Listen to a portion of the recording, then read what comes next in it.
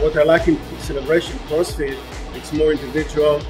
It's really intimate and a, a, great team and a great environment to be. When I started, I see, oops, I even hardly can move my body, and if I'm moving it, I'm not moving it correctly because it was a small class and it was fundamental. And that's what's good in fundamental, that you are getting to know your body, you are getting to know what's limits, where you need to focus more, focus less, and everyone is in the same boat, so everyone is doing it together. Yeah, there are some uh, old guys in the class, and there are some very young. Therefore, the diversity is really it's uh, all the ages, and uh, we just uh, it's like a family. They are really great because uh, the, the personal touch. First of all, you feel like a family here. You know everyone.